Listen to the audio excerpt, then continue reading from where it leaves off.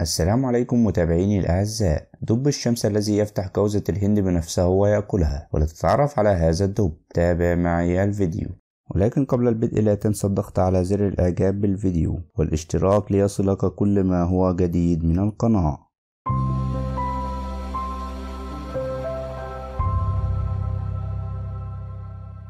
دب الشمس. يعرف أيضا باسم دب الكلب. نظرا لمقامته الصغيرة ولسانه الطويل للغاية. وهو موجود في الغابات الاستوائية المطيرة في جنوب شرق آسيا.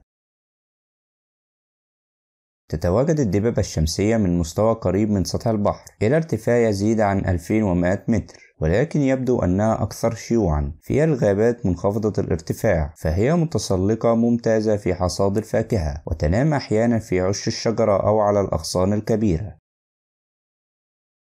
هذا هو أصغر الدببة يبلغ طول البالغين حوالي من 120 إلى 150 سنتيمتر ويزن 25 إلى 65 كيلو جرام الذكور أكبر بنسبة 10 إلى 20% من الإناث.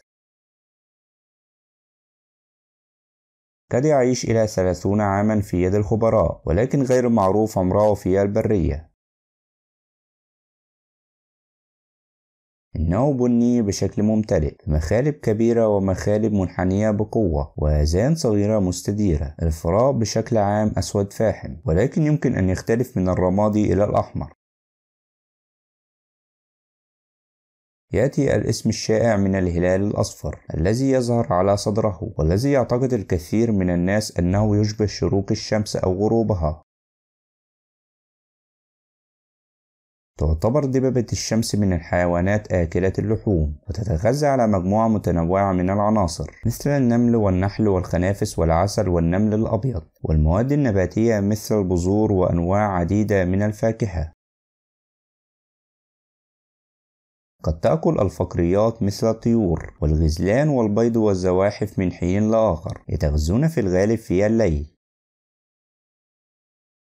يمزق دب الشمس الأشجار المجوفة بمخالبها الطويلة الحادة وأسنانها بحثا عن النحل البري والعسل كما أنهم يكسرون أكوام النمل الأبيض ويمتصونها بسرعة ممسكين بقطع من الكوم المكسورة بمخالبهم الأمامية.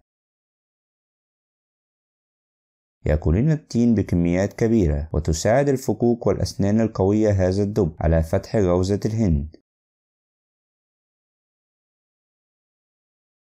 لا يعرف سوى القليل عن السلوك أو البنية الاجتماعية لدببة الشمس باستثناء الإناث مع صغارها تظهر الدببة عادة في حالة انفرادية. قد يتجمعون للتغذية وقطع الأشجار المثمرة الكبيرة ولكن يبدو أن هذا السلوك نادر الحدوث.